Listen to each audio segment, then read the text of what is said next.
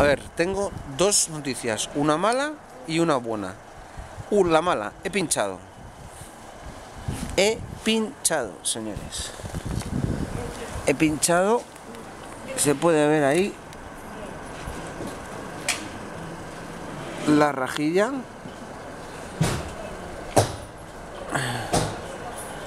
Ahí. La buena es que vengo de Omsk y desde Belchisnock o algo así, que apenas hay gasolinera, ni gastenicha, ni nada, he pinchado justo al lado de esta gasolinera, ¿eh? y justo enfrente de la gastenicha. Con lo cual, por muy mala que me vaya, por lo menos voy a poder dormir calentito. Voy a intentar arreglar mi primer pinchazo y a ver cómo se me da. Ya os contaré.